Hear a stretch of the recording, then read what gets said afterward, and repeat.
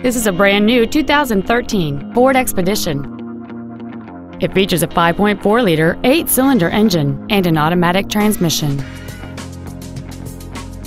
Its top features include a double wishbone independent front suspension, a remote start feature, power adjustable driver pedals, a low tire pressure indicator, XM satellite radio, and traction control and stability control systems.